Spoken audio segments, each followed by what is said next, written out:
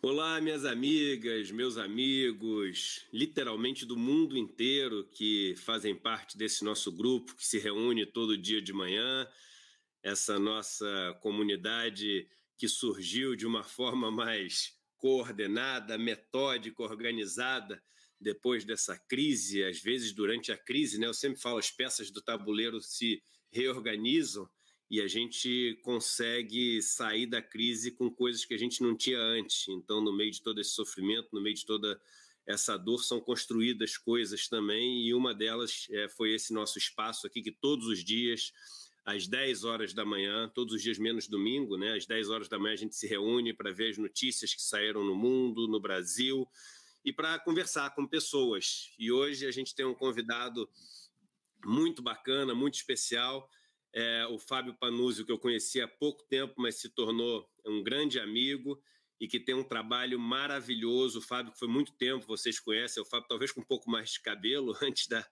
de ter sido pego nos protestos de ontem. bem, Mas o, o, o Fábio, durante muito tempo, apresentou, foi o âncora aí do Jornal da Bandeirantes, vários de vocês é, estavam acostumados a toda noite encontrá-lo, e agora podem continuar todos os dias encontrando o Fábio também, ele tem a TV Democracia, um canal que tem, eu acho que quase oito horas de programação por dia no YouTube. É uma equipe assim incrível, fantástica, com programas de noticiário, de opiniões. Então, a gente vai falar sobre isso ainda ao longo do programa, mas a primeira dica já do programa, antes de dar bom dia para o Fábio, é que todos vocês sigam a TV Democracia aqui no YouTube. Vale muito a pena, é um bom lugar para se informar, ouvir opiniões, e tem opiniões até de vários espectros, né? Eu, eu não ligo muito quando está passando as opiniões lá do lado da direita, que eu conheço bem essas opiniões, eu fico mais aqui no lado progressista, mas o bom é que no Fábio todo mundo pode acompanhar, que vai encontrar muita coisa lá. Eu queria dar aqui boas-vindas e bom dia para o meu amigo. Bom dia, Fábio. Ô, Eduardo, bom dia. Olha, primeiro, muito obrigado pelo convite, muito importante estar falando aqui. O, o Eduardo, gente, virou um parceiraço aqui da gente, desde que eu resolvi sair da, da, da mídia formal, né? Para abrir isso aqui. Encontrei o Eduardo por um acaso, um amigo nosso que é o Florestan Fernandes apresentou, e ele tem sido muito generoso na, na, na, na orientação, né? E eu, eu vejo o Eduardo com muita, muito gosto, assim, esse seu crescimento de importância no ambiente da internet, porque a sua obra é fantástica, a sua vida é um espetáculo, e as suas posições são muito legais. Então, assim, muito orgulhoso de estar aqui na sua live aqui. Já vou fazer um merchan aqui da camiseta que você inventou. Somos 70%. Essa foi demais essa aí. É, é, foi demais, né? Foi um esforço promocional Muito aqui para que a gente amealhasse mais pessoas para as ruas, né? Por enquanto, nós temos que preparar o momento de sair de casa, porque afinal de contas o país está nessa convulsão, esse louco do, do Bolsonaro querendo, querendo colocar fogo nas coisas, a população presa em casa e os fascistas na rua, né? Como a gente viu aí, não são muitos, mas são barulhentos. E outra coisa, são muito espaçosos, né? Ocuparam, por exemplo, Paulista. Agora, Paulista é deles, igual a cor das bandeiras. Então, nós estamos aqui para ajudar a mudar isso, um pouquinho. É isso aí. Pô, nota 10, já temos duas mil pessoas ao vivo nos assistindo com três minutos de live. E eu queria pedir, como todo começo de live a gente faz, e hoje não é só um começo, é começo de live, começo da semana. Então vamos começar acelerando, né? A gente precisa da ajuda de todo mundo aqui para a gente poder é, ter esse tamanho que a gente conseguiu chegar até agora, mas crescer muito mais do que isso. Quanto mais a gente crescer, mais pessoas a gente vai ter nessa nossa comunidade que, trabalhando junto, vai conseguir deixar aí é, um legado importante para esse momento tão, tão delicado de país. Então, todo mundo que estiver assistindo agora no YouTube, por favor, deem um like. No celular, se você está assistindo, é importante sair do chat, porque senão não aparece o botãozinho de like. Dá o like. Todo mundo está assistindo no Facebook. Facebook tem tido assim uma audiência enorme aqui dá um compartilhamento. No Facebook a gente consegue essa viralização, né? O vírus do bem, né? De uma maneira muito rápida, porque você tem um compartilhamento. Então, um vai para mil, de cada um dos mil vai para mil, daqui a pouco você já está em milhão. Então, todo mundo like, compartilhamento agora, é esse momento que todos contribuem para esse nosso espaço ter uma, uma repercussão e uma capilaridade muito grande. Bem, vamos lá, vamos começar falando de mundo, depois a gente vai falar de Brasil, vou mostrar alguns gráficos para vocês interessantes hoje. E sempre bom a gente ter essa ajuda aí é, da parte visual para entender o que está acontecendo. Já vi aqui pessoal da Espanha, da Suíça, da Austrália, todos os dias, Fábio, a gente tem gente do mundo inteiro literalmente assistindo e, e fazendo parte desse nosso encontro aqui. O mundo é que ao longo do final de semana bateu duas marcas tristes, né? Você teve é, mais de 400 mil pessoas mortas. É, esse número foi atingido esse final de semana, então são 406 mil mortos até agora por conta da Covid. São 7 milhões e 114 mil casos por conta da Covid também. A marca de 7 milhões, a trágica marca, foi atingida nesse final de semana. O país com maior número de casos continua sendo os Estados Unidos, que está quase batendo a marca de 2 milhões de casos, e 110 mil mortes nos Estados Unidos. Dentro dos Estados Unidos, você tem Nova York, que tem números é, dos países que mais foram atingidos é, pela doença. Então, o estado de Nova York tem 378 mil casos, com 30 mil mortes, até uma taxa de letalidade bem grande. Tem um gráfico, Fábio, que eu mostro sempre aqui para as pessoas, que é esse gráfico aqui, ó, que mostra o número de novas mortes por dia. Eu vou dar um zoom para a gente ver que uma coisa ruim aconteceu na última semana, que foi o seguinte: depois de estar tá caindo, depois de várias semanas, né? Você tem é sazonal, cada semana no final de semana diminui, começo da semana aumenta, porque muitas, é, muitos países, muitos estados não é, compartilham os dados durante o final de semana e aí no começo da semana eles acumulam, por isso você tem esse aumento. Mas veja que sempre o pico era menor que o pico da semana anterior, e nessa semana você voltou a aumentar um pouco. E por que, isso acontece? Eu vou compartilhar aqui uma tela com vocês. Então, Rafa, fique esperto aí, porque a gente vai compartilhar a tela. Então, esse gráfico é um gráfico muito interessante para que todos vocês possam ver. Ele mostra o número de novos casos que você tem, não de novas mortes, número de novos casos e esse dado impressiona muito. Muita gente é que está acompanhando a doença deu aquela relaxada, acalmada, normalizada no que está acontecendo. Ah, não, já passou. Não passou mesmo. Você teve no mundo, isso aqui é o mundo inteiro somado. Em todo mundo você teve um crescimento rápido no começo, teve um platô e muita gente achou que isso começaria a cair, mas a gente entrou numa segunda onda e está numa exponencial da segunda onda. Esse gráfico divide o número total por regiões do mundo. Então vocês veem que, por exemplo, esse azul ele começou a contribuir muito com o total, mas ele entrou num platô de número de novos casos por dia. Então o azul, na verdade, é aqui a distância onde termina o azul e ele começa, ou seja, terminou o vermelho, começa a Europa. Começou o verde, termina a Europa. Então vocês veem que a largura dessa faixa azul ela vai diminuindo, significa que o número de novos casos na Europa por dia tem diminuído muito. O número de novos casos na América do Norte e nos Estados Unidos tem se mantido relativamente estável, depois de ter crescido bastante, tem se mantido relativamente estável. E aqui o ponto mais triste, ou seja, na Ásia, onde no começo você tem quase todos os casos na China, você tem um aumento grande de casos e o maior de todos, e o maior de todos na América Latina e África começando a crescer. Em outras palavras, em outras palavras, eu acho que está claro para todo mundo que é, a doença entrou nos, nas regiões mais pobres do mundo e perdeu o controle nas regiões mais pobres do mundo. Só para vocês terem ideia, em lugares como Líbia, Iraque, Uganda, Moçambique Haiti, o número de casos novos, é, o número de casos total, perdão, está dobrando a cada semana. Em outros lugares como Brasil, Índia, dois países muito populosos, Índia é o segundo mais do mundo, Chile, Colômbia, África do Sul, o número de casos está dobrando a cada, cada duas semanas.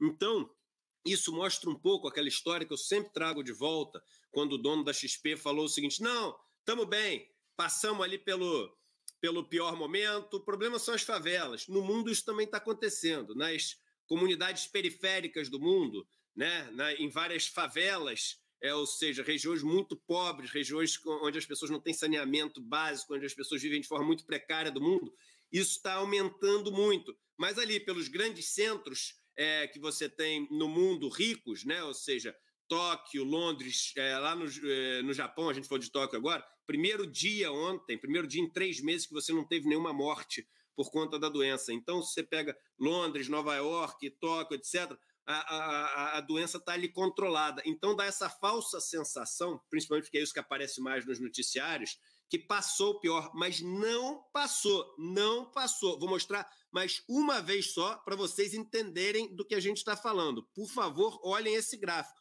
Esse gráfico é o seguinte: a gente passou a primeira onda, a gente está estourando no nível máximo, no meio de uma exponencial em termos de mundo.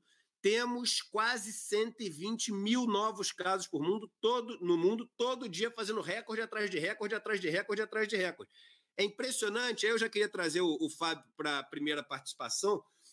Como isso que vem da mídia faz as pessoas terem uma sensação que elas estão vivendo num mundo tranquilo ou num mundo agitado. E é impressionante, né, Fábio? Porque a gente está no auge do caos em termos de mundo. Se um, um marciano olhando para a Terra, eles falam: caraca, eles estão no auge do caos. Mas as pessoas estão com uma sensação de que o pior já passou, porque nos lugares mais ricos já passou.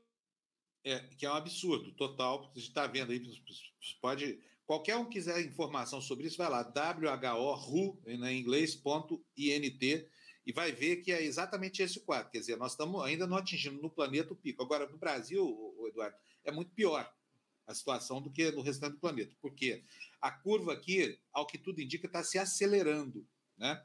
Nós temos um processo de subnotificação no fim de semana, e obviamente que a gente, se a gente pegar a estatística mundial, vocês vão ver que em lugares como a Espanha, onde a contaminação foi drástica e havia o elemento surpresa, Itália né, e, e outros, outros lugares do mundo, é, houve uma, uma tentativa de mitigar o mais rapidamente possível esses, essa transmissão virótica, contendo a população em casa, aplicação de multa, tudo isso. Não aconteceu no Brasil.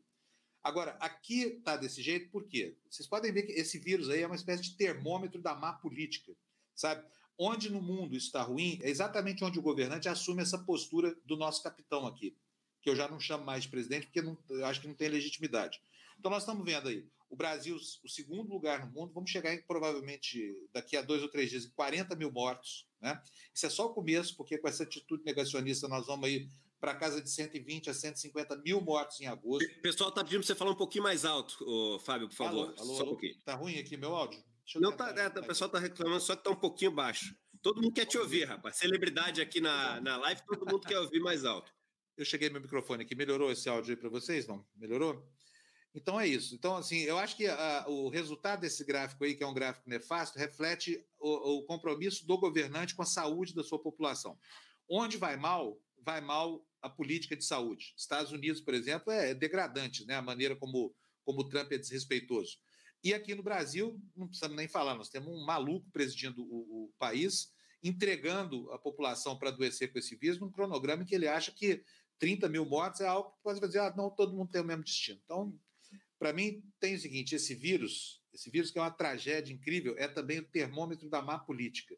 Se a coisa vai mal no, no, no local onde a gente está olhando, é porque os líderes desse país são os bananas, são os frouxos, ou quando não são os fascistas, como é o caso aqui do Brasil. É verdade. Temos aqui 4.500 pessoas já nos assistindo. Fábio, todo mundo veio assistir o Fábio hoje aqui. Lembrando todo mundo que está entrando que vocês podem assistir o Fábio mais tempo na TV Democracia.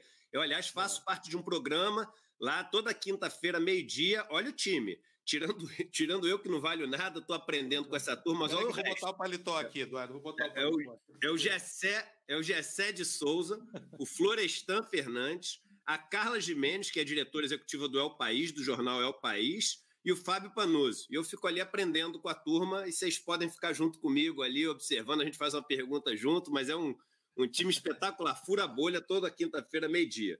Bem, é, quando você olha para o resto do mundo, você está vendo o seguinte: vários países que estão naquele momento de tentar sair da crise, eles começam a contar os prejuízos e ver a situação econômica, como é que vai ser a volta. Tudo é novo, né? Aliás, os economistas estão errando demais as suas previsões, porque eles estão tendo que lidar com algo que eles nunca lidaram. Então, na China, foi engraçado, porque no, na, no mês passado, eles acharam que as exportações iam cair 15% para o resto do mundo, as exportações em dólares da China elas subiram 3,3%, ou seja, 3,5%. Então, eles erraram em 18% de é, se for a diferença absoluta. Né? É, já esse, esse mês, é, as exportações chinesas, depois de ter um mês alto né, no, no, no passado, elas caíram 3,5%. E aí, um dado importante: as exportações chinesas nesse mês caíram 3,5%, depois de surpreender subindo no mês passado, e as importações chinesas caíram 16,7%. O que isso quer dizer, gente? Quer dizer um monte de coisa. Primeiro, quer dizer o seguinte: é, a China está exportando menos. Quando a China está exportando menos, isso significa é, que o mundo inteiro começou a sentir um baque grande na economia, no seu total. Né? A China é um grande termômetro desse comércio global é, a partir de agora. Começou essa fase dessa queda abrupta da atividade econômica global.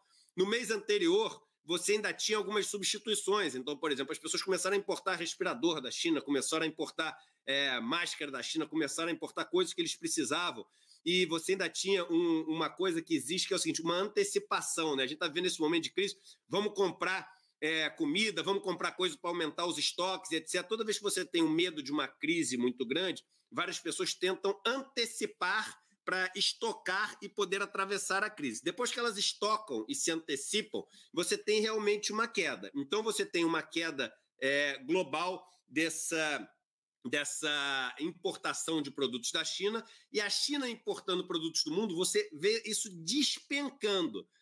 Quando a China para de importar de outro país, o país automaticamente para de exportar para a China. Parece óbvio isso, mas é, a gente tem que ter na cabeça que esse número da China contra o resto do mundo é o mesmo número do resto do mundo contra a China. Então, ou seja, o resto do mundo, o resto do mundo no último mês exportou para a China 16,7% a menos do que antes.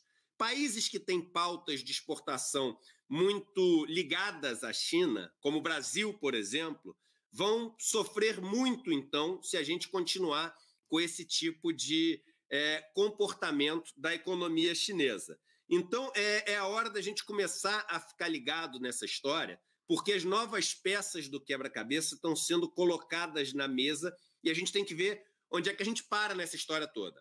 Até agora, a única coisa que a gente sabe é que a gente vai parar mal no Brasil, porque a gente está brigado com a China, que é o único lugar do mundo onde, onde ainda tem uma atividade relevante, forte e uma capacidade de demanda interna grande, que já se mostrou menor do que as pessoas imaginavam no último mês. Né? A demanda interna da China faz com que a importação também é, seja maior ou menor. É, o país que a gente está mais grudado, que é os Estados Unidos, é o país que está vivendo o maior caos nessa questão da crise. Ela, é, os Estados Unidos, que teve um aumento do emprego na, no final de semana passado de 2 milhões e meio de postos de trabalho, contrário também ao que os economistas imaginavam, que acharam que ia ser uma queda. Novamente, eles estão perdidos no mundo inteiro, na China, no Japão, nos Estados Unidos, em tudo que é lugar, mas a gente viu as características desses postos de emprego que voltaram postos muito ruins. Os brancos conseguiram novos postos, os negros perderam ainda postos de trabalho. São postos muito ligados a trabalhos com baixa qualidade, trabalhos que não são estruturais, ou seja, que você sabe que vai manter ao longo dos próximos meses. Então, uma situação ainda muito frágil nos Estados Unidos. E o Brasil virando um párea no mundo. Muita gente falando por conta de vários problemas, não só da crise da Covid, por causa da Amazônia, desse desmatamento que a gente está fazendo, por causa de um monte de problema, cortando relações, diminuindo coisas que vão exportar para o Brasil, não decidindo não comprar mais nada do Brasil, ninguém mais pode visitar o Brasil, não pode vir do Brasil para os outros países. Então, o Brasil, voltando dessa crise, que a gente ainda não está nem perto de pensar nisso, vai voltar numa situação muito ruim em relação ao mundo. É, tem, Eduardo, hoje tem algumas notícias muito preocupantes. Por exemplo, a, o Brasil agora é o segundo maior parceiro nas compras da Argentina. Não é mais nas compras de soja da Argentina. A China compra mais da Argentina do que o Brasil, quer dizer, nós estamos perdendo proeminência no mundo. Você tem ao mesmo tempo lá o, o, o, os, os, democratas americanos querendo sancionar o Brasil, impedir que a gente tenha privilégios é, é, é, aduaneiros. Você tem a perda do Fundo Amazônia, que já era. Né? Você tem uma reação brutal contra produtos brasileiros na Europa. Então, quer dizer, o mundo está ficando muito estreito para nós, o mundo está ficando cada dia que passa menor. Num período em que a, a, a, essas relações de, de, que sempre foram relações muito prolíficas para o Brasil estão sendo destruídas por causa de uma política é, que confronta o mundo. Né? E olha, pegou muito mal essa história desse fim de semana do Bolsonaro de repente censurar. Para mim, foi o primeiro ato formal da ditadura do Bolsonaro, sabe? Porque isso não se faz. A Constituição foi derrubada aí. Por quê? O princípio que norteia a administração pública é o da publicidade. Você não pode esconder as coisas assim no, eh, das pessoas. Como assim? O mundo inteiro caiu de pau em cima da China, porque a China, no começo da pandemia, negligenciou a divulgação dos números, manipulou. E o que, que o Brasil está fazendo agora? Se não é exatamente a mesma coisa. Como é que o comportamento dos governantes aqui pode ser distinguido do, dos ditadores de lá, que a gente critica tanto por causa da falta de liberdade, quando aqui eles querem aplicar a mesma lógica? Tudo bem que, que ele voltou atrás, a gente, mas a gente não sabe como vai ser feita a tabulação desses números, né? Ontem mesmo havia, quando o governo finalmente desistiu de, de manipular a informação, descaradamente, havia uma diferença brutal entre os dados apresentados antes e os dados apresentados na véspera. Ou dados apresentados até no mesmo dia, quer dizer, não tem consistência nenhuma. Aí o que é pior é o seguinte: já é um governo que não tem zero de credibilidade. Pega a área que deveria ter uma atuação técnica agora para orientar a gente como um facho de luz, uma lanterna assim no, no nosso carreador, e ela, ela se despe da credibilidade que deveria ter agora. Aí me fala, qual é a fonte fidedigna de informação e orientação para a população, já que o próprio governo não se dá ao respeito, né? Foi, foi muito drástico isso que aconteceu ontem. É um ato formal de sabotagem à, à, à imprensa. E olha, não foi só isso, hein? tem mais. Em relação à falta de transparência, agora a presidência da República é, baixou uma portaria lá dizendo que é, parecer de ministério que orienta é, decisão do presidente da República também não vai ser divulgado. Mas que diabo de país é esse? O que, que, que, nós viramos aqui? Então, se, se isso não é uma ditadura, sabe? A gente ficou 20 anos para dizer, a esquerda brasileira principalmente, que a Venezuela era formalmente uma ditadura. Quando vai ser o momento de falar isso aqui no Brasil? Quando é que a gente vai começar a achar que essas gracinhas do Bolsonaro, com medidas do plano administrativo, conspurcando a, a, liberdade de informação, porque isso conspurca a liberdade da informação. Quando é que a gente vai falar que esse regime já não é mais uma democracia, sabe? Totalmente de acordo, Fábio. E, e esse número, ontem, é, o governo divulgou um número de 1.382 mortes. E uma hora e meia depois, ele foi e mudou o número para 525 é. mortes e não deu nenhuma explicação da diferença. Então, isso assim, é um absurdo total o que está acontecendo, porque só tem duas alternativas, gente. Só tem duas alternativas. Se o governo dá um número oficial, oficial, de 1.382 mortes, uma hora e meia depois, o governo dá um número de 525 mortes, ou o governo está querendo propositalmente confundir a informação que a população tem sobre a doença que está matando brasileiros num ritmo que nas últimas décadas nada matou no Brasil, e aí, se ele está fazendo isso, se ele está fazendo isso, ele está cometendo um crime, ele está cometendo um crime, porque o governo não pode esconder um dado que é um dado essencial para que as pessoas possam se proteger de uma guerra que todos estão lutando juntos. Então, essa é a primeira alternativa. O governo, de forma leviana, está propositalmente desinformando a, informação, a, a população. Segunda alternativa é o seguinte: o governo realmente está completamente perdido e não tem noção do que está acontecendo. As duas alternativas são péssimas e não tem uma terceira alternativa. Não existe. Ou o governo está perdido ou está mal intencionado. E olha só, o que, é você estar tá num lugar onde o governo está absolutamente perdido ou absolutamente é, mal intencionado. Mas a gente já vai vir aqui para o Brasil, só para finalizar lá fora, é, os efeitos políticos. Os efeitos políticos seguem acontecendo.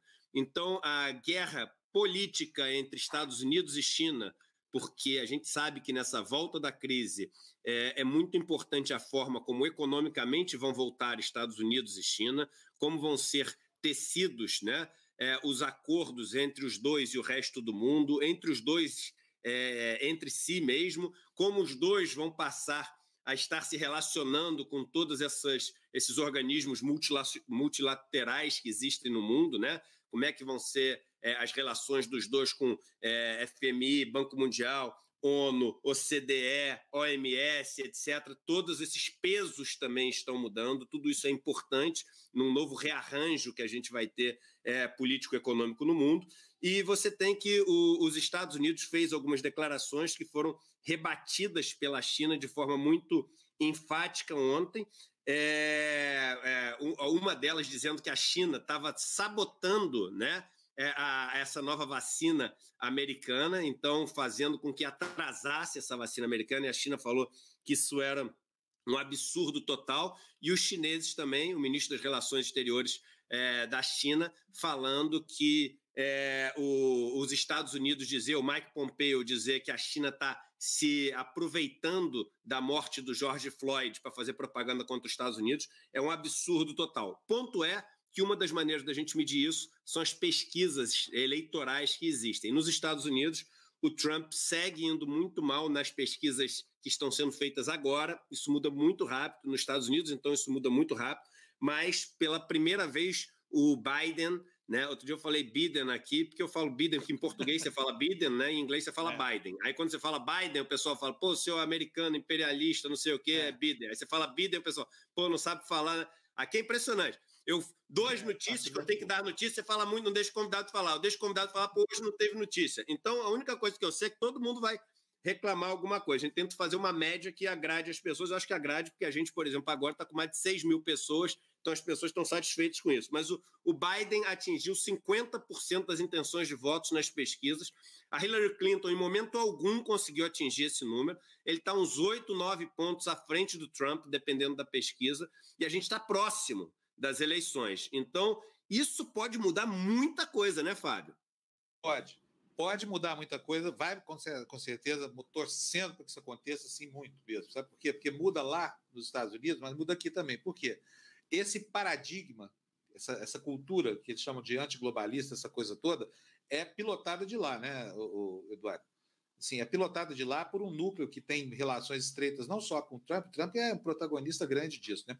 Agora, está dando tão errado eu acho que o Bolsonaro vai sofrer tanto na pele essa consequência, porque não é só porque o modelo dele lá, o Trump, né, o, o, o enfim, o Bolsonaro alaranjado, a matriz do nosso genérico aqui, não é só por isso, é porque lá nos Estados Unidos mesmo começa a ficar muito ruim a situação do Trump entre os seus pares, do Partido Republicano.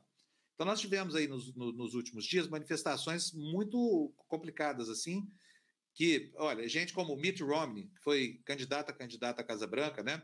está é, tá à direita do Partido Republicano, diz que não vota mais no, no, no, no Trump. O, o, o, Bush, o Bush filho, também diz que não vota. Imagina, se fosse aqui no Brasil, os bolsominions não estão tá chamando Bush filho de comunista, né? O, quem mais? O Colin Powell também não, não vota, diz que não vota mais no Trump. Trump não tem apoio dentro do seu próprio partido. Eu não sei como é que é no sistema americano, se eles têm alguma franquia por serem é, é, membros, é, é titulares de mandato eletivo, mas me parece que não, entendeu? Não sei se o Trump vai ter viabilidade eleitoral para começar essa campanha. Dinheiro ele tem, mas com a, a, a, demonstração cabal, a prova cabal de que ele foi um presidente horroroso, expressa por esses números da, da pandemia, é, ele começa a fazer trincas até dentro do Partido Republicano. É, resultado: se perder a eleição, aí aqui o Bolsonaro, que a gente nem sabe se vai chegar até o fim do ano como presidente da República, perde um um dos três pés de apoio do tripé sobre o qual ele ele ele está posicionado e está gerando uma, uma tremenda de uma histeria. Você vê gestos tirânicos aqui na, na linha é, ao sul do Equador e lá em cima tem brasileiro lá, o guru dessa coisa toda, o maluco total lá do Olavo de Carvalho, por exemplo, fez um vídeo ontem que eu não acreditei na hora que eu, que eu, que eu vi. Eu dei hoje lá aqui na TV Democracia, porque eu acho que não podia faltar informação, mas assim, o nível é vocabulário de bordel sabe? Tem pingo de respeito. Manda o Bolsonaro enfiar uma, a comenda que deu a ele num lugar aí que eu não vou dizer aqui por respeito ao pessoal que está assistindo a sua live, mas enfim, foi uma coisa horrorosa a manifestação dele. Para mim, sinônimo de, de desespero, porque afinal de contas o mundo não aguenta mais esse extrema-direita, né? Racista, homofóbico, estão vendo aí como é que estão as ruas, né? E ontem, apesar da tragédia sanitária do Brasil, foram 4 mil caras lá na, no Lago da Batata, hein? 4 mil. Se tinha 100 na Paulista, 100 fascistas lá na Paulista, era muito. Sinal de que por aqui as coisas estão começando a andar muito mal para o Bolsonaro também, viu? Vamos ver se, se a gente despeja essa dupla aí, deixa esse, esses dois em 2020 para sempre, viu? O... Não, verdade. Estamos aqui com 29 minutos de live, chegando na metade do nosso encontro aqui. Uma boa notícia: temos 6.500 pessoas ao vivo nos assistindo. Excelente público hoje. E quando a gente chega no meio da live, a gente faz aquele combinado, todo mundo, e é óbvio, eu, eu peço isso para vocês, para que esse nosso espaço aqui possa ter essa segunda metade também com uma audiência ainda maior, que todos deem um like no YouTube. A gente no YouTube está com 4.240 pessoas, ou seja, dá para a gente passar de 5 mil tranquilos. Todo mundo der um like agora. custa nada. E no Facebook temos mais de duas mil pessoas ao vivo nos assistindo, todo mundo compartilhamento. Vamos pô, fechar hoje, super legal essa live, tem muita coisa bacana para a gente conversar ainda nessa segunda metade e depende de nós aqui a gente ter uma segunda metade com uma audiência muito grande. Bem, vou então, começar. Eu quero, é... Desculpa, Eduardo, eu quero fazer meu merchan aqui. Você pegar esses 6 mil aí que tem que dar like aqui e, e tudo mais, depois vão lá para a TV Democracia, tá? Para é a gente empurrar o negócio de lá, porque senão não anda. E não, e não custa nada, gente, porque assim, é oito horas de programação por dia. O Fábio montou um, uma produtora muito bacana em São Paulo, o estúdio. Ou seja, tem gente que às vezes assiste um, um outro tipo de programa por causa da estética do programa, né? Ah, porque ali é, eu tenho mais credibilidade porque a imagem é melhor, o cenário. Pô, o Fábio fez. Então você tem um lugar maravilhoso que o Fábio se dedicou a fazer para poder entrar é, contribuindo nessa, eu vou até chamar guerra de narrativas que existe, ainda mais num mundo cheio de fake news, cheio de, enfim, notícias que são muito mais é, medidas para é, direcionar o pensamento das pessoas do que para informar as pessoas. Então, todo mundo que puder, quando sair daqui hoje, entrar ali, é rápido, vocês vão demorar 10 segundos, entra ali no Google, TV Democracia, no YouTube mesmo, naquela lupazinha, é. vai aparecer, inscrever-se. E aí a gente é aproveita facinho. e se encontra lá também toda quinta, meio-dia. Isso. É facinho, ó. youtube.com.br TV Democracia ou então na internet, no seu navegador, democracia.tv, tá bom?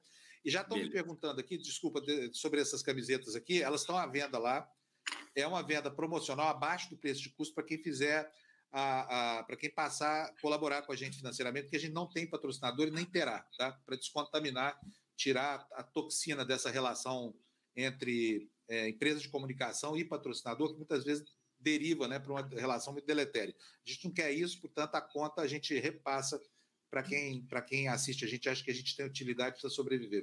Eu, estou achando maravilhoso essa história de, pô, de tentativas serem feitas, como é essa aqui, de canais sem propaganda. Isso é tão bom, gente. Eu falo para vocês, há dois anos vocês não me veem na mídia tradicional. Eu estava sempre Globo News, é, jornal do SBT, Band, eu estava sempre dando entrevista. Eu comecei a falar mal dos bancos e falar como é que eles fazem as coisas. Nunca mais me chamaram uma vez. Ainda chamaram algumas ali e falavam o seguinte: olha só, só não fala mal dos bancos, que nosso principal patrocinador aqui é um banco, não sei o quê. Então é, é tão bom, é tão gostoso, dá uma sensação de tanta força você poder falar o que quiser e ninguém poder te chantagear, que a gente tem que realmente é, é, ajudar essas iniciativas quando a gente é, puder. Vamos, vamos falar de Estados Unidos ainda, da questão dos protestos, e a gente entra em protestos no mundo inteiro. Estados Unidos entrou na 13ª noite de protestos nos Estados Unidos. Né? É, você tem que a família do George Floyd pediu a ajuda das Nações Unidas em relação ao caso do George Floyd para eles poderem intervir. E os, apesar dos protestos estarem sendo pacíficos nos Estados Unidos, você continua. É, Seattle, por exemplo, nessa madrugada, teve uma confusão grande em Seattle, teve pessoas presas, teve pessoas machucadas. Então você continua, porque o clima ainda é, e, e tem que ser, né, um clima muito tenso de protestos. As autoridades sanitárias, as autoridades de saúde no mundo inteiro, muito preocupadas com uma eventual segunda onda em países que tinham controlado a doença por conta desses protestos apesar de estar existindo uma preocupação muito grande de fazer com que as pessoas se protejam, tendo distâncias seguras, que vistam máscaras, usem álcool para poder se limpar, num dado momento as pessoas se perdem ali pela emoção, que é você participar é, de um protesto como esse. E aí, um ponto interessante que eu queria passar para você, Fábio, é o seguinte: tem sido muito discutido em vários países. O Macron hoje é, falou sobre isso na França, eu sei que nos Estados Unidos alguns governadores falando sobre isso.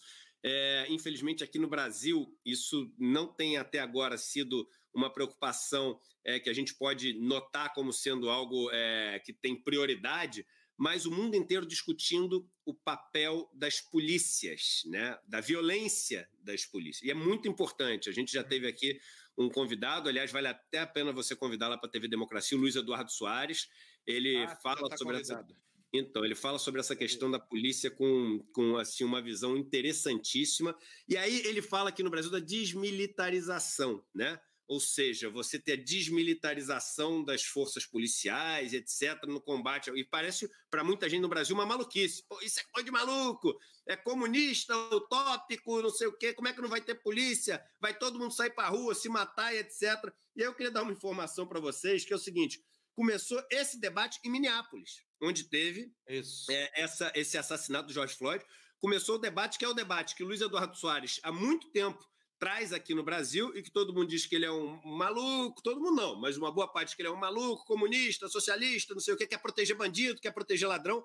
Esse debate começou em Minneapolis de desmilitarização e substituição da polícia por um novo modelo de segurança pública. Então, assim, é, não sei se é bom, ruim, não sei o quê, mas o debate dessas coisas a gente tem que ter, a gente tem que baixar um pouco a guarda quando a gente vê que as coisas estão dando errado para debater maneiras novas, nem que seja para fazer a mesma coisa de um jeito um pouco diferente, colocando limites, etc. Mas para a gente ver o erro que a gente está cometendo, a gente tem que discutir coisas novas. Então, só para vocês saberem, Minneapolis, Estados Unidos, país cujo presidente é Donald Trump, país que tem mais é, história é, de guerras, investimento em armas, etc., do mundo, discutindo desmilitarização da polícia em Minneapolis, Fábio.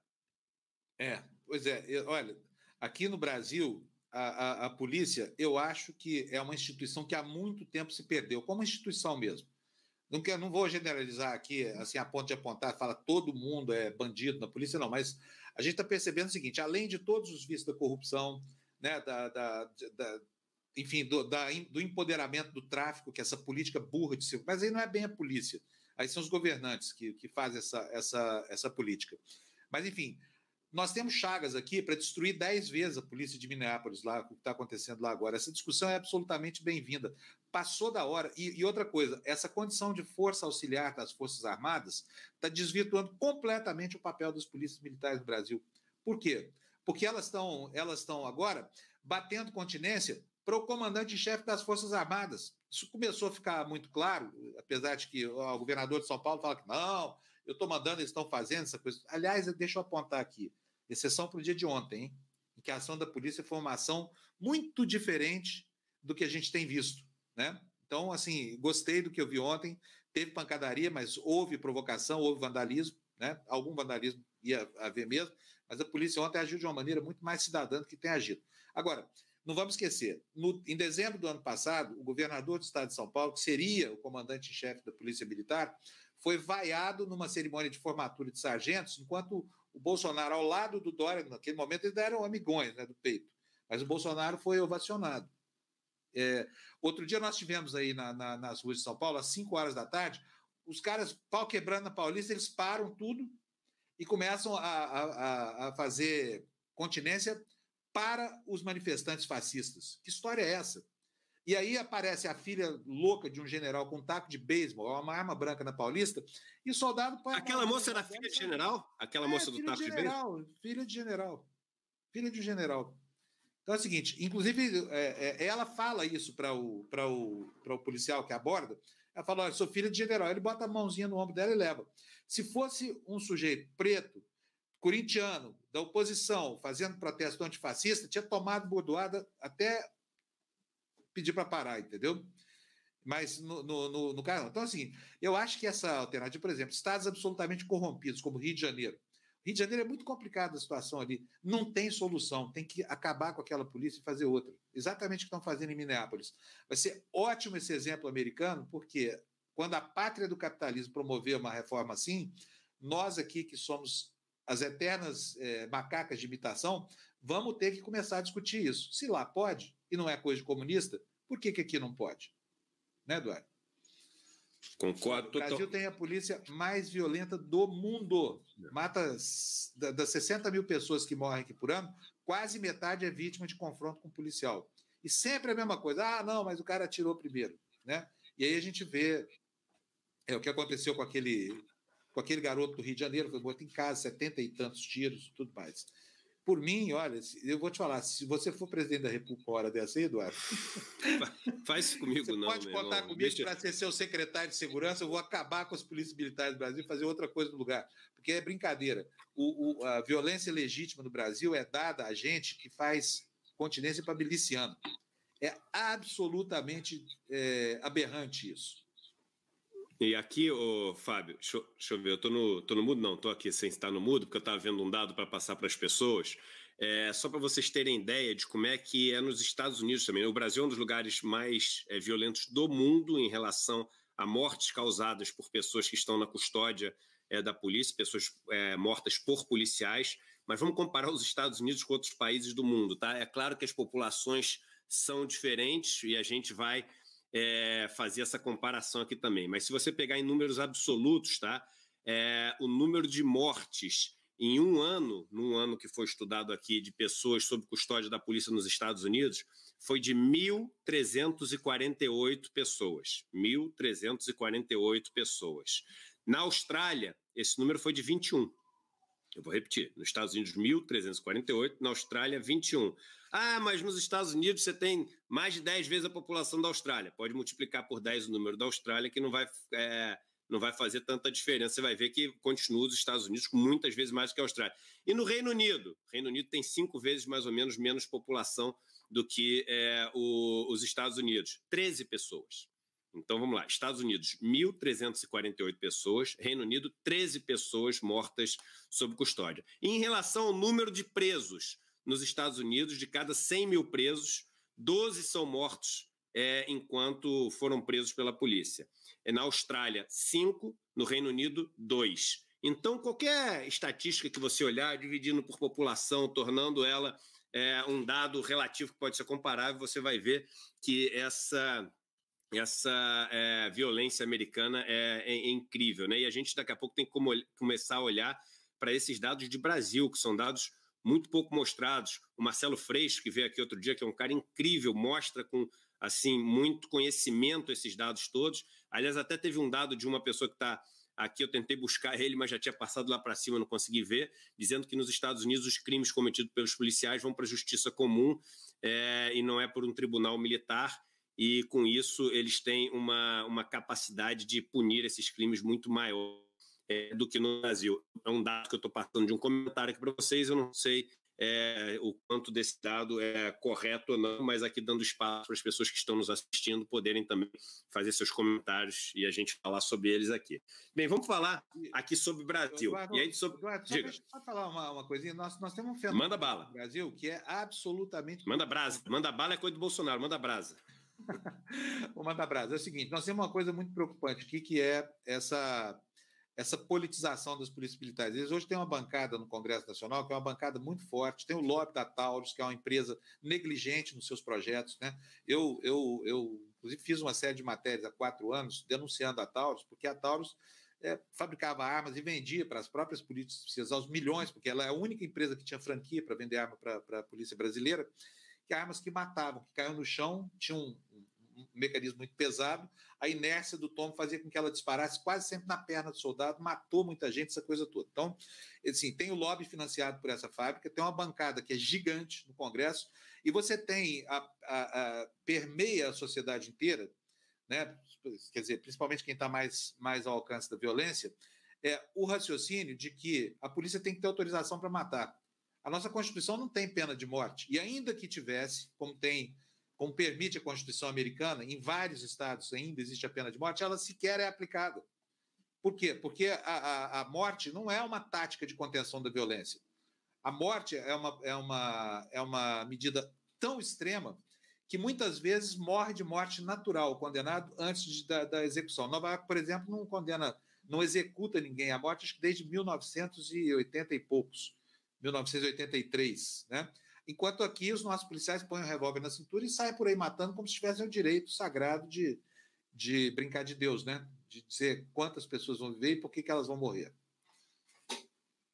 Verdade. E vindo para o Brasil agora, falando dos protestos, primeira coisa que eu queria falar é o seguinte: é, o movimento que surgiu numa live dessa, o Somos 70%, ele tomou uma proporção enorme. Eu fiz até um post no Instagram ontem em vários lugares do mundo, é, esse movimento foi tema das notícias. Então a gente tem notícias em inglês, em francês, em espanhol, em grego, em outras línguas que eu nem sei quais são, porque eu não entendo nada do que está escrito. Mas quando aparece a hashtag, aparece o Somos 70%, e Eduardo Moreira em algum lugar, e é, alguma coisa que mostra que estão falando da gente. Então é o seguinte: o movimento que nós aqui, como grupo, demos só o pontapé inicial, e esse movimento não é nosso, ele não é de ninguém, ele é um movimento que ele foi abraçado e foi, é, é, eu acho que incorporado por esses 70%. E tão importante esses 70% passarem a se ver como aquilo que já eram e que não é, entendiam que eram, ou seja, os 70%, eles são maioria, é óbvio, mas as pessoas não estavam agindo como maioria, não estavam agindo como se fossem 70%, estavam agindo com medo, estavam agindo é, receosos. Então, que força que tem, que força que tem a gente conseguir ver a realidade. Que força que tem a gente tirar a casca que tenta esconder o, o verdadeiro poder que é, um grupo tem. Tem uma, um, uma coisa que é interessante, quando você, pelo menos dizem, né, essa história dos circos, quando nasce um elefante, você prende ele com um cabo, que é um cabo fininho, num toquinho de madeira assim, porque o elefante é muito pequenininho, ele não consegue se desgrudar do toquinho de madeira. Quando ele fica grande, você só precisa botar o mesmo cabinho, o mesmo toquinho de madeira que ele não sai, porque ele acha que não pode arrebentar. Porque na cabeça dele, ele acha que ele é aquele elefante pequenininho. Ele acha que ele é os 30%. A gente, gente, a gente já virou os 70%. A hora que a gente der um, uma puxada, vai voar toquinho, vai voar cabo, vai voar tudo. A gente não está preso a nenhuma situação. A gente não está preso a nenhuma situação. A gente tem a liberdade, a gente tem a liberdade de poder é, opinar, falar, debater. E aí, dentro dos 70%, eu sempre falei isso.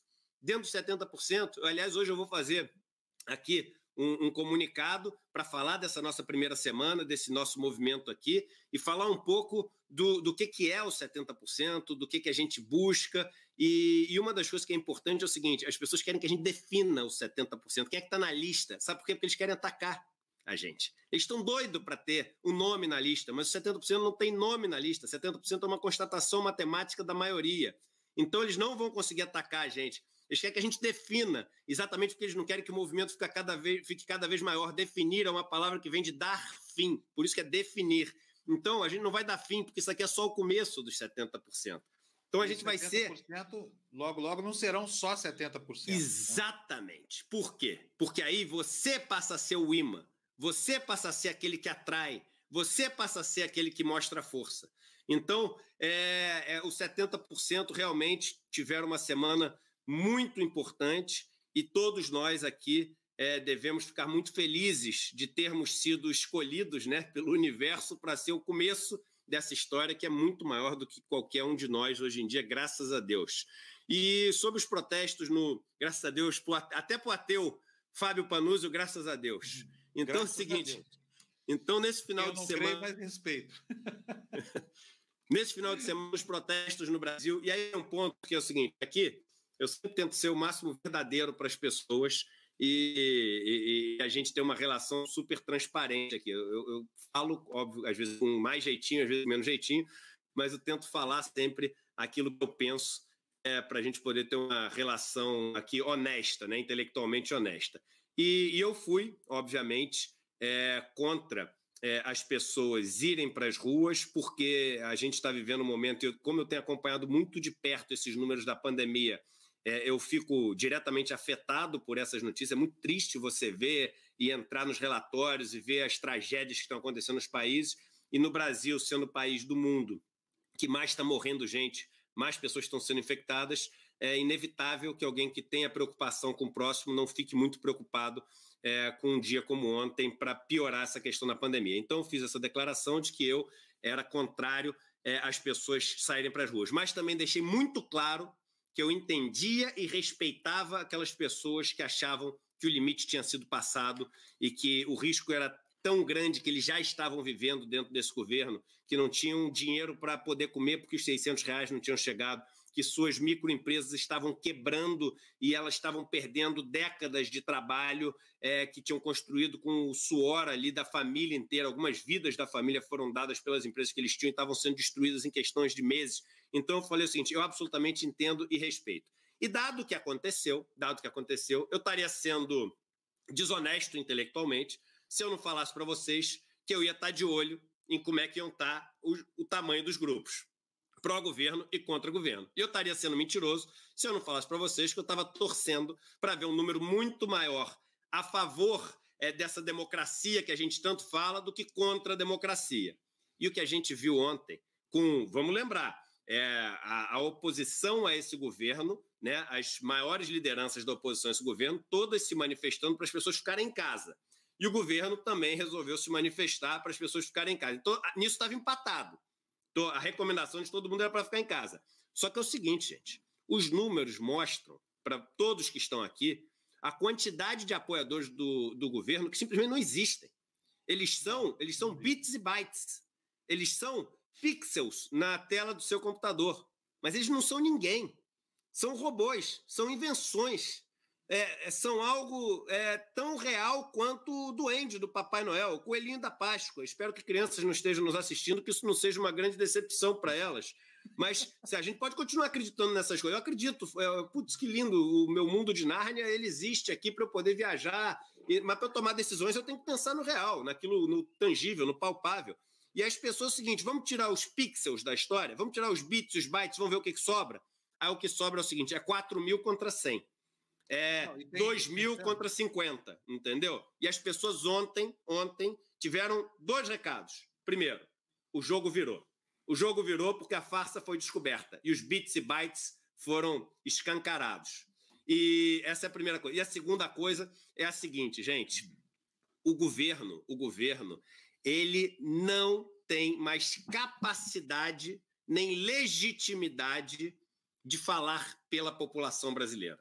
Porque claramente os 70% não estão sendo vistos, ouvidos e representados por esse governo. Ontem foi muito importante para mim, foi apesar de pequena por conta da pandemia em números absolutos, né? Não em números relativos, mas em números absolutos, foi muito importante as manifestações de ontem como recado, Fábio. Que, do que isso, hein? É seguinte, as fotos aéreas mostram exatamente a diferença de tamanho entre uma coisa e outra. Os bolsonaristas, os fascistas, os nazistas, esse povo maluco que está ao redor do, do, nosso ditador, essa gente não tem medo de vírus, porque eles não acreditam em vírus, eles não acreditam na ciência, eles acham que vão. Pastor Malafaia vai lá abençoar e vai sarar. Eles deixam lá um dízimo e o cara faz uma, uma reza estelionatária daquelas e está tudo resolvido. Agora, o, o lado de cá não é assim é gente que tem respeito pela ciência, que tem religiosidade, mas é uma religiosidade saudável, não é fanático religioso nem nada. Mas a, a, despeito disso, vocês viram a diferença de tamanho. Foram 40 vezes. Uma paulista, olha, um Lago da Batata foram 40 paulistas, tá? É muita gente que está. E todo mundo num ato de heroísmo para estar tá ali. Eu conversei agora de manhã aqui, a gente fez uma entrevista com o Chico Malfitani na minha TV Democracia, e o Chico estava feliz da vida, porque eles mesmos estavam receosos, viu, Eduardo? Que a, a, posição, essa sua posição, é uma posição de bom senso. O Emicida falou a mesma coisa, eu ontem, inclusive, não fui lá, queria muito ter ido, mas não fui, porque eu sou cardiopata e tenho hipertensão, tomo é, omesartano, então não fui lá. Mas fiquei morrendo de vontade, me coçando. Se não fosse um médico tão bravo quanto que eu tenho, eu teria contrariado as ordens dele e ido para lá também. Mas eu considero que, que os que foram, correndo o risco da contaminação, correndo o risco de apanhar da polícia, correndo o risco de ser admoestado aí por um nazista desses armados, que tinha vários, né? Vocês viram lá na Paulista, você viu a diferença de tratamento? Tinha banda do, do lado dos antifascistas? Tinha. Mas eles deixaram a manifestação se dispersar e só então se apresentaram. Ou seja, eles não eram parte do movimento. Era um apêndice que estava ali colado, esperando o momento de deflagrar aquela onda de selvageria, que nem foi tão grande assim. Agora, lá na Paulista, não. Coquetel Molotov, arma branca de quanto é jeito. Quer dizer, prenderam um monte de nazista lá que estava preparado para o confronto. Né? Então, assim, eu também acho que ter ido é uma coisa temerária do ponto de vista da saúde pessoal, só que tem um momento da vida em que a situação está tão grave, tão difícil, que cabe sim um ato de heroísmo como esse. Sabe? Então eu queria até agradecer aos que foram lá ontem, porque nos representaram lá, né? São parte desses 70%, a parte mais brava e aguerrida que estavam lá, disposta a qualquer coisa, né? Então foi muito legal o, o resultado, até para mostrar que não somos só 70%, outros eram 10%, os fascistas eram 10%. Ou seja, se a amostra tivesse valendo, hoje teria que mandar imprimir aqui, ó, somos 90%. É isso aí. E, e, lembrando que o Somos 70%, ele vai muito além de só sou a favor ou contra o Bolsonaro. É, 70% é a favor de preservar a Amazônia, 70% é a favor de que a gente é, defenda a nossa cultura popular brasileira, 70% é a favor de que as pessoas tenham a liberdade de escolher sua religião e poder viver tranquilos com isso nas suas caminhadas pessoais, 70% é a favor de que a gente ouça a medicina, né? E não é, impulsos absolutamente lunáticos é, do, do, do presidente da República ou de pessoas que nada entendem é, de medicina. Então, 70% é uma coisa, enfim, é uma estatística muito poderosa, muito maior. Agora, Fábio, já falando aqui e passando aí para para suas considerações finais. Temos mais de 7 mil pessoas nos assistindo e, nas suas considerações finais, faça até o convite para as pessoas é, fazerem parte da TV Democracia, explique direitinho para elas o que, que, é. Mas eu queria falar o seguinte: ontem teve, é, no meio da madrugada, né, esse, essa fala absolutamente é, raivosa, destemperada, descontrolada e mal educada do guru do, do, do Bolsonaro. É, e no, no, nos últimos meses a gente teve o, o Moro largando o barco e jogando é, os problemas todos ali no ventilador, né? Sempre gosto de lembrar o seguinte: pô, se o cara teve lá é, durante esses é, todos esses meses que ele passou, mais de ano aí no, no governo Bolsonaro, ele é cúmplice de tudo que foi feito enquanto ele estava no governo Bolsonaro, é, mas ele saiu e deixou o Bolsonaro perdido, porque muita gente defendia o Bolsonaro, porque falava assim, não, porque olha só, ele está com o Moro. Aí ele sai, o pessoal fica perdido. Não, não, mas ele está com o Olavo. Aí o Olavo sai, aí o cara não sabe o que falar, aí o Olavo volta, aí o general sai, o general volta.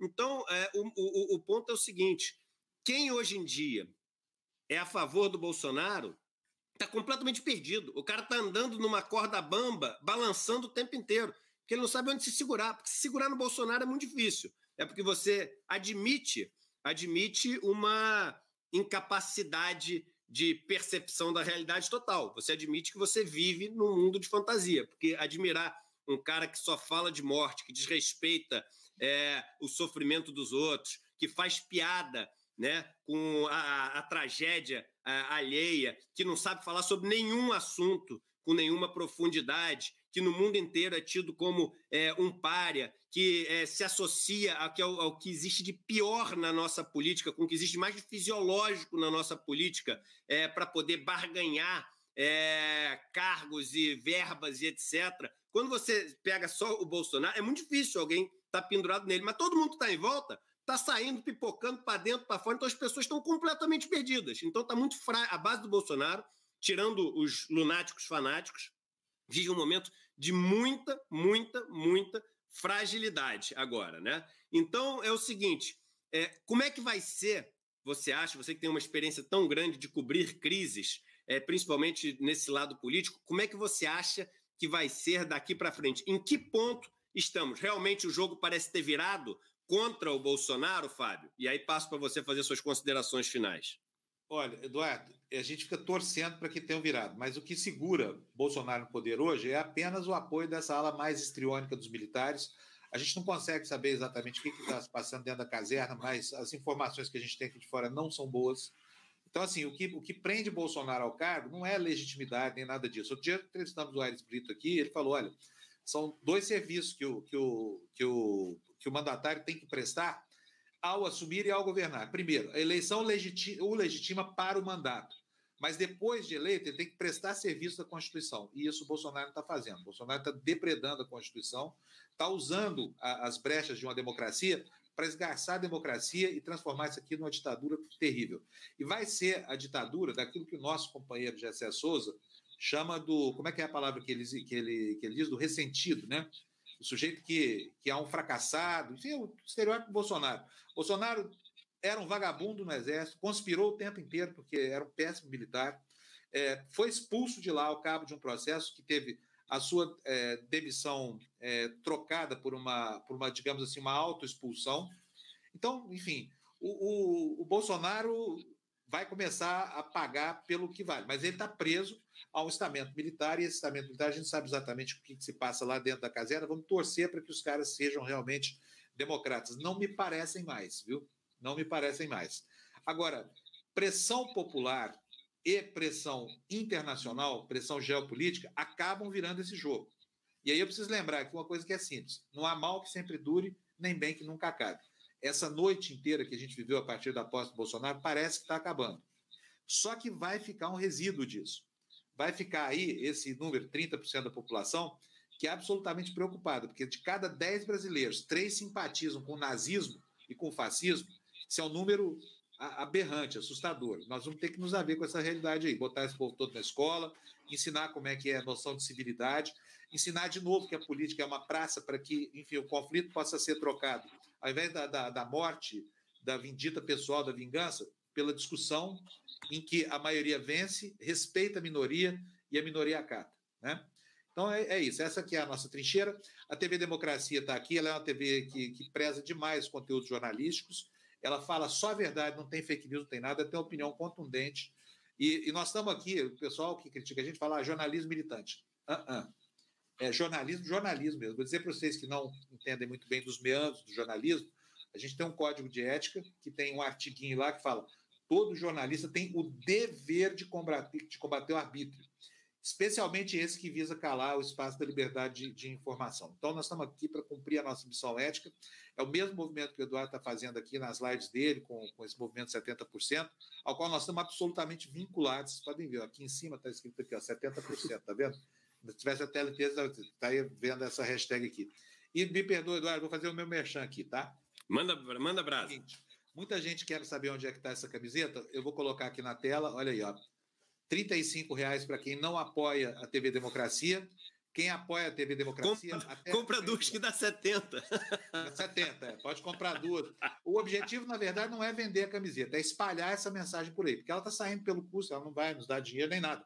Mas é uma oportunidade de levar as pessoas até lá para que elas possam fazer. Então, se você estiver interessado em comprar sua camiseta, vai lá no nosso site, é democracia.tv, logo na alta página você vai ver lá essa, essa imagem que eu estou mostrando aqui agora, ó. Tá vendo só? E aí você clica aí e tem os caminhos. Por favor, é no site do Fábio. Não venham aqui me perguntar, Eduardo, como é que compra? Como é que você fez? Eduardo tá vendendo a camiseta. Eu Vou sabia que tinha um esquema. Não, não, tem nada disso. O Fábio, ele explicou como é que é. Ele tá colaborando para a causa. As pessoas que se é, cadastram lá no canal dele tem lá o desconto, não sei o quê, tem brinde. Então, gente, o Eduardo está é, promovendo as pessoas que são a favor da causa. Eu já estou falando isso porque eu já sei tudo que aparece depois que veio um negócio desse aqui. Então, gente, tá bom? Ó, então, estamos aqui, de. Vai lá, é Fábio, continue. É, isso aqui é o seguinte: eu tomei o bordão do Eduardo para mim. Tá? Fiquei muito contente, porque a gente, de certa forma, estava né, ali no momento em que ele teve essa sacada genial. E é conta, isso. conta pro pessoal, Fábio, que aconteceu no programa do Fábio. Sempre conta a história, conta é. rapidinho. A gente já passou aqui do horário, mas conta em um né? minutinho. A gente estava no Furabolha, que é domingo, é, que é quinta-feira ao meio-dia, e de repente o Eduardo teve essa sacada. A gente estava num momento de indignação lá. Até falei uns palavrões lá esse dia. Falei, não é possível isso esses. Mas, enfim, é, é para dar a ideia, para a gente restabelecer a nossa autoestima, sabe? É isso que ele falou. Um elefante não é elefantinho, é elefantão. Nós somos um elefante, assim, sabe? E as formigas que estão aí no nosso caminho, sentimos muito, nós vamos passar por cima delas com o peso das nossas toneladas aqui de vida institucional e de vigor, e vai dar tudo certo, tá? Na hora que eles voltarem a entender que eles são minoria e que, ainda que seja uma minoria superdimensionada por robôs, ameaças armadas, essa coisa toda. Olha, dane-se. A democracia é um regime que a maioria manda. E a, a maioria aqui deplora esse tiranete que nós temos lá em Brasília hoje, chamado Capitão Bolsonaro. É isso aí, Eduardo. Muito obrigado. É, eu sei que você tem que voltar agora para sua grade de programação. Todos que estão assistindo aqui o canal e não assinam ainda, eu vou pedir para que vocês assinem. A gente está próximo de uma marca muito importante aqui, que são os 400 mil assinantes. A gente tem 380, quase 388 mil assinantes aqui. Então, vou pedir para todos vocês ajudarem para a gente bater essa marca. E é muito fácil. Quem está assistindo agora que não assina, só, é só clicar ali no inscrever-se. E quem já assina, pô, manda nos grupos de amigos, de WhatsApp, etc. Porque é, é muito legal a gente ter essa comunidade com esse engajamento. Poucos lugares têm esse engajamento todo que a gente tem. Vocês viram na última pesquisa que saiu que nós somos um dos dez é, canais digitais mais influentes do Brasil aqui, não por causa do número, mas por causa do engajamento. E pô, é isso que faz a gente diferente. Vamos todos juntos aqui construir uma realidade que seja uma realidade mais justa e democrática para todo mundo. Fabião, um abraço, boa sorte aí.